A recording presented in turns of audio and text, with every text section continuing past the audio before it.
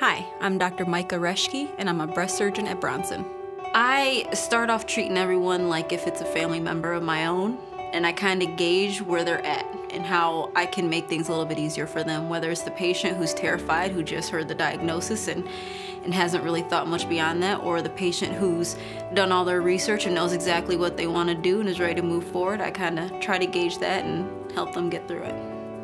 Patient education is very important, uh, especially in our disease. Patients have options and they don't usually know that. Uh, they know the stories that they hear, the things that they see online and the internet, but they don't know the what pertains to their actual situation. So giving them all the information, the tools to make the decision that works best for them, that's what's really important. The staff is wonderful, very comforting, very open, so it makes a very nice flow, a nice system in place for the patients, so it makes what can be a very difficult process a little bit easier for them. I would hope that a patient would walk away feeling like they have a good, strong support system and comforted, and knowing that whatever may be ahead of them, that they will get through it and they've got a whole team fighting for them.